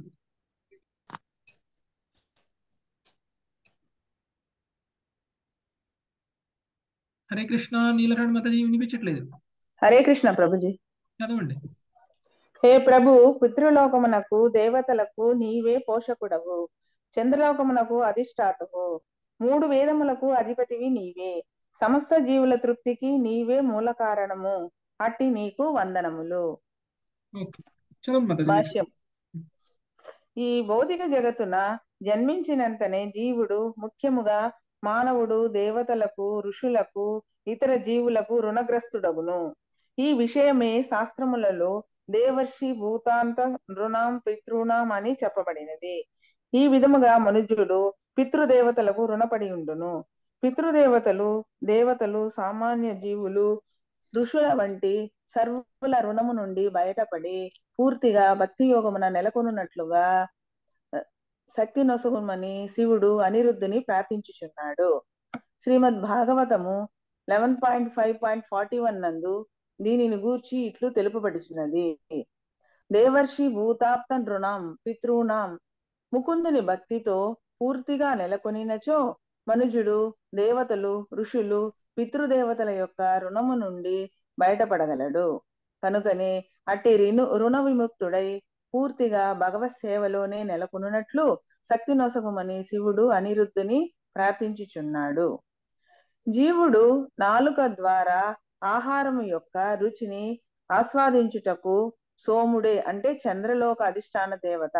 కారణము భగవత్ ప్రసాదమును తప్ప మరి ఏ ఇతరమును రుచి చూడనట్టి శక్తిని తన కొసగుమని శివుడు అనిరుద్ధుని ప్రార్థించుచున్నాడు. ఇంద్రియములన్నింటిలోనూ నాలుకే జయ జయింపరాని శత్రువని శ్రీల భక్తి వినోద ట్యాగోర్లో ఒక పద్యమున తెలిపి ఉన్నారు నాలుకను నియంత్రింపగలిగిన వాడు ఇతరేంద్రియములను సులభముగా నియంత్రించగలడు. కృష్ణార్పితమైన ఆహారమును ప్రసాద రూపమున భుజించుట ద్వారానే నాలుక వశములోనికి రాగలదు.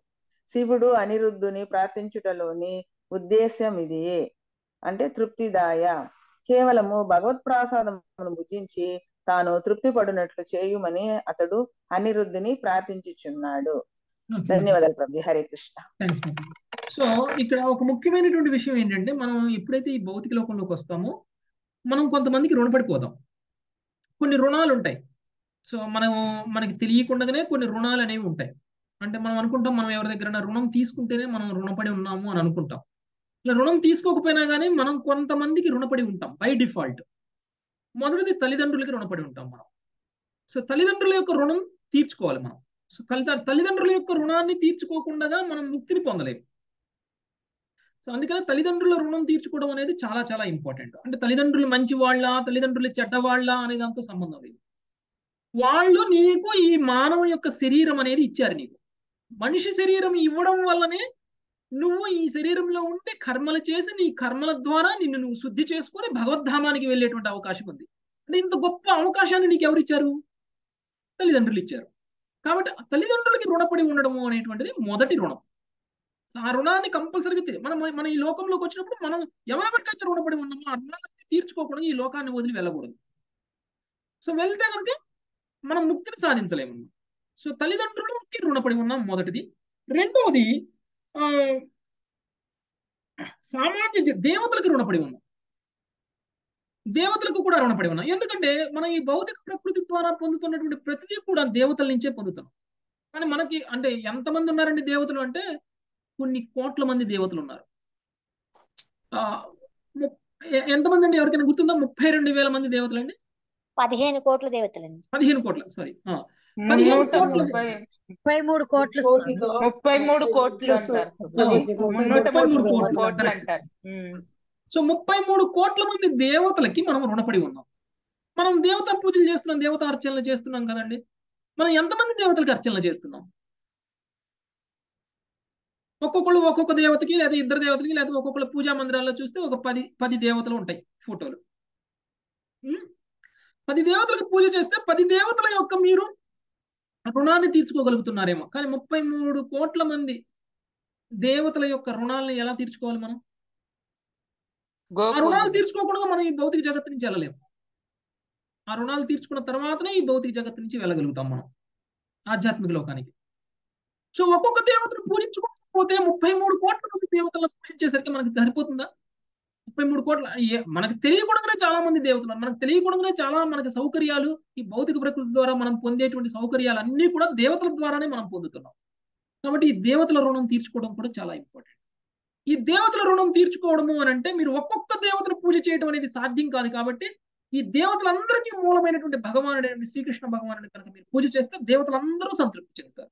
ఏ విధంగా అయితే ఇంతకు ముందు మీరు చెప్పారు ఇంతకు ముందు శివుడు కూడా చెప్పారు మీరు కృష్ణుడిని ప్రార్థిస్తున్నారు కాబట్టి మీరు నాకు ఇష్టమయ్యారు అనేటువంటి విషయం చెప్పారు. అంటే శివుడి యొక్క రుణం ఆటోమేటిక్ తీరిపోతుంది. సో మనం ఎప్పుడైతే మనం కృష్ణుడిని ప్రార్థిస్తామో మనకి తెలియకుండా మనకి సహాయం చేస్తున్నటువంటి దేవతల యొక్క రుణాలు కూడా మనం తీర్చేసుకున్నట్లు వాళ్ళం అవుతాం.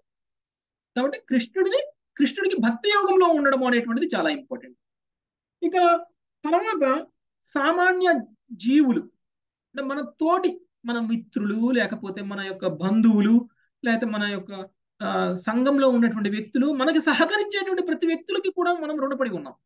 వాళ్ళ రుణాలు కూడా మనం తీర్చుకోవాలి. ఇంకా ఋషుల యొక్క రుణాలను కూడా తీర్చుకోవాలి. ఎందుకు ఋషుల యొక్క రుణాలను తీర్చుకోవాలి? ఋషులు మనకి జ్ఞానాన్ని ఇస్తారు.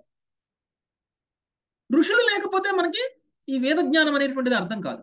ఋషుల ద్వారానే మనం ఇదంతా కూడా పొందుతున్నాం. అలాంటప్పుడు మరి ఆ ఋషులకి ఆ రుణం తీర్చుకోకపోతే మనము ఆ భగవద్ధామానికి వెళ్ళలేము.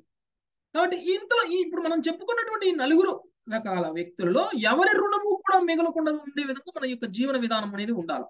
అప్పుడు మనం భగవద్ధామానికి వెళ్ళగలుగుతాం. అది ఎలా సాధ్యం అని అంటే మనకు తెలియకుండా తెలిసి అందరి రుణాలని తీర్చుకోగలిగేటువంటి విధానం ఒక్కటే ఒక్కటి అది ఏమిటి అని అంటే భక్తి యోగం. మీరు కనుక భక్తి యోగంలో ఉంటే భగవంతుడిని కనుక అర్చన చేస్తే అది సాధ్యమవుతుంది. భగవంతుడికి కనుక ఆ సరెండర్ అయిపోతే అది సాధ్యం అవుతుంది అనేటువంటి విషయం చెప్తున్నారు. మరి అది ఎలా సాధ్యం? భగవంతుడికి సరెండర్ అయ్యేటువంటి మనసు మనకు రావాలి కదా. భౌతిక లోకంలో ఇంతమంది ఉన్నారు ఇంతమంది సరెండర్ అవ్వలేకపోతున్నారు. మన చుట్టూ కూడా చాలా మంది మనల్ని భక్తిలో ఒక అడుగు ముందుకేస్తుంటే రెండు అడుగులు వెనక్కి లాగే వాళ్ళు ఉన్నారు మనల్ని. మరి ఇలాంటి భౌతికమైనటువంటి వాతావరణంలో మనం ఉండి మనం ఒక అడుగు ముందుకు కూడా వేయలేనటువంటి పరిస్థితుల్లో ఉన్నటువంటి మనము మరి శాస్త్రంలో చెప్పిన విధానంగా అందరి రుణాలను తీర్చుకునే విధంగా మనం ఉండగలిగే విధంగా మనం ఏం చేయాలి అని అంటే అనిరుద్ధుడు మనకు సహాయం చేస్తారు. సో అనిరుద్ధుడికి మీరు గనక మనస్ఫూర్తిగా ప్రే చేసుకుంటే మనసులో ఉన్నటువంటి భౌతిక కల్మషాలన్నింటినీ తీసేసి మనస్సు ఇక భౌతికమైనటువంటి విషయాల పట్ల ఆలోచనలు తగ్గించి ఈ మిగిలినటువంటి ఇంద్రియాలన్నింటినీ కూడా మనస్సు కంట్రోల్ చేసి ఆ ఇంద్రియాలన్నింటినీ కూడా భగవత్ సేవలో ఉపయోగించేలాగా మనసు చేస్తుంది. ఆ దానికి మనకి అనిరుద్ధుడు సహాయపడగలడు అనేటువంటి విషయం చెప్తున్నారు. అందుకనే ఇక్కడ అనిరుద్ధుడు యొక్క ప్రాముఖ్యత అంతుంది. మరి ఇంద్రియాలన్నింటినీ నియంత్రించాలి. ఇంద్రియాలన్నింటినీ నియంత్రించడం ఎలా సాధ్యం అని అంటే మనకున్నటువంటి అన్ని ఇంద్రియాలలో పవర్ఫుల్ ఇంద్రియం మనల్ని చెడగొట్టే ఇంద్రియమైనా మనల్ని మంచి బాగు చేసే ఇంద్రియమైనా ఏమిటి అని అంటే ఒక నాలిక. ఒక నాలికను కనుక మనం కంట్రోల్ చేస్తే మిగిలిన ఇంద్రియాలన్నీ ఆటోమేటిక్గా కంట్రోల్ అయిపోతాయి. స్లో స్లోగా స్లో స్లోగా ఒక్కొక్క ఇంద్రియం కంట్రోల్ అయిపోతుంది అంటే మూల మూలానికి మందు వేయాలి. సో అందుకని నాలికతోటి మనం ఏమి తింటామో మన ఇంద్రియాలు అవే కోరుకుంటాయి. సో నాలికతోటి మనం తినేటువంటి విషయాన్ని మనం చాలా జాగ్రత్తగా ఉండాలి. సో మనం ఏది తీసుకుంటామో మనం అదే బయట బయట ప్రదర్శిస్తాం. కాబట్టి మనం సత్వగుణయుతమైనటువంటి ఆహారాన్ని తీసుకోవాలి. భగవంతుడికి అర్పించినటువంటి ప్రసాదాన్ని మాత్రమే తీసుకోవాలి. ఎప్పుడైతే మనం భగవంతుడికి అర్పించినటువంటి ప్రసాదం మాత్రమే తీసుకుంటామో ఆటోమేటిక్గా మిగిలిన ఇంద్రియాలన్నీ భక్తి యోగంలోకి వచ్చేస్తాయి. మిగిలిన ఇంద్రియాలను ప్రత్యేకంగా కంట్రోల్ చేయాల్సినటువంటి అవసరం ఉండదు. నాలుగుతో ఇంకొక పని చేయొచ్చు. ఒక పని తినడం. ఇంకొక పని ఏం చేయొచ్చండి?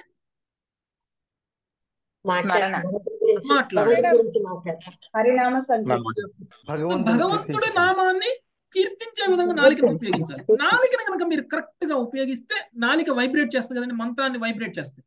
ఈ వైబ్రేషన్ కనుక హరినామం అయి ఉండాలి తినే తిండి భగవంతుడి యొక్క ప్రసాదం అయి ఉండాలి. ఈ రెండు పనులు కనుక నాలికతోటి మనం ఎప్పుడు చేస్తూ ఉంటే ఆటోమేటిక్ మిగిలిన ఇంద్రియాలన్నీ కళ్ళు చెవులు ముక్కు నోరు అన్ని కంట్రోల్ అయిపోతాయి. చేతులు కాళ్ళు అన్ని కంట్రోల్ అయిపోతాయి. ఆటోమేటిక్గా మనం భక్తి యోగంలో నిలబెడుతుంది ఆ నాలిక మనల్ని. కాబట్టి నాలికని కంట్రోల్ చేయడం యొక్క ప్రాముఖ్యతను ఇక్కడ చెప్తున్నారు. ఎందుకంటే ఇక్కడ అనిరుద్ధుడికి ఆయన ప్రే చేస్తూ నేను ప్రసాదాన్ని మాత్రమే తినాలి నేను భగవంతుడి యొక్క కీర్తనలు మాత్రమే చెయ్యాలి ఆ విధంగా నన్ను ఆశీర్వదించు అని అనిరుద్ధుడికి శివుడు ప్రేయర్ చేస్తున్నారండి. సో మిగిలిన రేపు చదువుదాం మాతాజీ. హరే కృష్ణ. హరే కృష్ణ ప్రభుజీ. ఒక డౌట్ ప్రభుజీ. ఇప్పుడు పితృ రుణము దేవతా రుణము ఋషి రుణము చెప్పినారు ప్రభుజీ. సామాన్య జీవులకి ఏం మనం రుణం ప్రభుజీ? మన తోటి వాళ్ళకి మనకు సహాయం చేస్తుంటారు కదా మాతాజీ. ఓహో సరే. తోటి వాళ్ళ సహాయం లేకుండా మీరు భౌతిక జీవితంలో ఎలా మీరు ముందుకు వెళ్తారు సరే. హరే హరే కృష్ణ. సమరైజ్ చేస్తారు మాతాజీ ఎస్ ప్రభుజీ. ప్రభుజీ మనం ఇవాళ ఏం తెలుసుకున్నామంటే శుద్ధ భక్తులకు శివుడు అంటే ఇష్టం భక్తులంటే భక్తులంటే భగవంతునితో సమానము అని తెలుసుకున్నాము. ఇక్కడ గురువు స్థానంలో ఉన్న శివుడు ప్రచేతస్తులకు మంత్రోపచారం చేసినాడు అంటే ఇంకా ఆయన ఇవత శివుడు అంతా మాట్లాడడం స్టార్ట్ చేశాడు. ఆయన మంత్ర ప్రాముఖ్యతను కూడా శివుడు వాళ్ళకి తెలియజేశాడు. అంటే ఈ మంత్రం ద్వారా జీవిత చరమ లక్ష్యాన్ని కూడా సాధించవచ్చు అని శివుడు చెప్పడం జరిగింది. అయితే ఇప్పుడు ఇంకా శివుడు ఏం చెప్తున్నాడంటే మొట్టమొదటగా భగవంతుడు దేవాదిదేవుడు అయినటువంటి విష్ణువుని గురించి ఆయన ప్రార్థించాడు. అంటే దేవదేవ నీకు జయము కాగు కాక అంటే ఆయనని ప్రేయర్ చేయడం స్టార్ట్ చేశాడు. అదేవిధంగా ఆత్మకి పరమాత్మకి అంటే భగవంతుని ఆత్మ చాలా దివ్యమైనది. ఆయన మనకి జ్ఞానాన్ని ఇస్తుంది. అదే విధంగా కృష్ణుడి నుండి కూడా మనకి ఇస్తుంది అని కృష్ణ భక్తిని కూడా ఇస్తుంది అని తెలుసుకున్నాము. పరమాత్మతో పాటు కృష్ణుడు పరమాత్మతో పాటు కృష్ణుడు కూడా మనలో ఉంటాడు. అంటే ఆయన చాలా పూజ్యుడని ఆత్మ రాముడని కూడా శివుడు చెప్పడం జరిగింది. ఇంకొకటి అంతేకాకుండా ప్రతి జ్ఞానానికి కూడా మూల కారణము శ్రీకృష్ణుడే అని ఆ శివుడు అనడం కూడా జరిగింది. అంటే అన్నిటికీ కూడా కారణము శ్రీకృష్ణ భగవానుడే. ఆ అయితే సాకార రూపం అంటే శివుడు సహకార రూపాన్ని నమ్మినాడు. శివుడు నిరాకారాన్ని నమ్మడు కానీ శివభక్తులు మాత్రం నిరాకారాన్ని వాడతారు నమ్ముతారు అని తెలుసుకున్నాము. అంతేకాకుండా అన్నిటికీ మూలం నీవే ఇంద్రియాలకి మూలం కూడా నీవే వాసుదేవుడు నీవే వాసుదేవుడివి నీవే పరమశాంతి నీవే స్వప్రకాశము నీవే షడ్ షడ్వికారాలకు వికారాలకు కూడా కలత నీవే అంటే కలత చెందవు నీవు. అంటే ఇక్కడ షడ్ వికారాలు చాలా ఇంపార్టెంట్. అంటే ఆకలి దప్పిక శోకము మోహము ముసలితనము అవన్నీ కూడా దేవాది దేవుడికి ఉండవు అని రిషికేశుడు నీవు అని కూడా ఈ విధంగా శివుడు ప్రార్థించడం జరిగింది. అదే విధంగా నీవు అంతేకాకుండా వాసుదేవుడవి అనిరుద్ధుడవి ప్రద్యున్ముడివి సంకర్షణుడివి అని అని కూడా శివుడు కీర్తించడం చేశాడు. అంటే కారణోదక సాయి కన్నా ముందు ఈ సంకర్షణుడు. అంటే ఉండి ఆ సంకర్షణుడే ఆ లక్ష నోర్లతోని ఎంతో కాలం నుండి ఆ, కీర్తిస్తూ ఉన్నాడు విష్ణునామాన్ని. ఆయననే కృష్ణుడే సంకర్షణి యొక్క రూపము. అయితే ఆయన పైనే సమస్త సృష్టి కూడా నిల్చ నిల్చొనుంది. ఆయన కీర్తనల వల్లనే మనం అందరం కూడా ఇంకా ఉన్నాము అని తెలుసుకున్నాము. అదే విధంగా ఇంకా అంతేకాకుండా శివుడు నీవే అనంతుడవి నీవే అనిరుద్ధుడవి అంటే ఇక్కడ అనిరుద్ధుని యొక్క గొప్పతనము మనమందరం కూడా అనిరుద్ధుడిని కీర్తిస్తే మనకి మన మనసు అనేది చాలా కంట్రోల్లో ఉంటుంది ఇంద్రియాలు కంట్రోల్లో ఉంటాయి. ఆయనే అని శివుడు చెప్తున్నాడు. మనం కూడా అలా తె- తెలుసుకున్నాము. అంతేకాకుండా అనంతుడివి అంటే సంకర్షణుడు కూడా నీవే. అయితే సూర్యుడు ఎప్పుడు కరగనివాడు? అంటే సూర్యుడు చాలా గొప్పవాడు ఏ విధంగానో అదే విధంగా ఇక్కడ అనిరుద్ధుడు కూడా అంతే గొప్పవాడు అని తెలుసుకున్నాము. అదే విధంగా అ- అనిరుద్ధునికి మనము భక్తి అంటే ఆయన ఎవరికైతే మనం భక్తి యోగంలో ఉండాలి భక్తి యోగంలో ముందుకు వెళ్ళాలి మన మనసు కంట్రోల్లో ఉండాలి మనకి మోక్షం కూడా ఇవ్వాలి మన మన అవన్నీ కూడా కావాలంటే మనము అనిరుద్ధుని ప్రసన్నం చేసుకోవాలి అనిరుద్ధుని మనం కోరుకోవాలి. ఇంకా ఏం చేయాలి? మనకు అనిరుద్ధుడు మనకి ప్రసన్నం కావాలి. మన అంటే కొన్ని రుణాలన్నీ ఉంటాయంటే తల్లిదండ్రుల రుణము దేవతల రుణము ఋషుల రుణము సామాన్య ప్రజల యొక్క రుణం ఇవన్నీ మనకు తెలియకుండానే వస్తాయి వీటిని తప్ప రుణం తీర్చుకోవాలన్నా కానీ మనకు అనిరుద్ధుడు హెల్ప్ చేస్తాడు. అంటే చెప్ప తెలుసుకున్నాం అంతేకాకుండా మనము నాలుక అంటే మన నాలుకనే అన్నిటికీ కారణము. దాన్ని కంట్రోల్ చేసుకోవడము ప్రసాదం తీసుకోవడము. నాలుక యొక్క ఇంకొక పని ఏంటంటే నామ జపించడం ఇవన్నీ కూడా ఈ ఇంద్రియాలన్నిటి కూడా కంట్రోల్ చేయాలంటే మనము అనిరుద్ధుడిని ప్రేయర్ చేసుకోవాలి అని తెలుసుకుందాము. అయితే లాస్ట్ చిట్ట చివరిది ఇంకొకటి ఏంటంటే కొన్ని రుణాలు మనకు తెలియకుండానే వస్తాయని చెప్పాము. ఈ తల్లిదండ్రుల రుణము దేవతల రుణము ఋషుల రుణము వీటన్నిటి రుణాలు కూడా తీర్చుకోవాలంటే మనం భక్తి యోగంలో ఉంటే మాత్రమే ఇది సాధ్యమవుతుంది. ఈ భక్తి యోగంలో కూడా మనని ముందుకెళ్ళి తీసుకోవాలంటే అనిరుద్ధుని యొక్క సహాయం మనకు చాలా చాలా అవసరం అని తెలుసుకున్నాము. హరే కృష్ణ ప్రభుజీ. థ్యాంక్ యూ వెరీ మచ్ మాతాజీ హరే కృష్ణ ఎవరికైనా ఏమైనా ప్రశ్నలు ఉన్నాయండి? హరే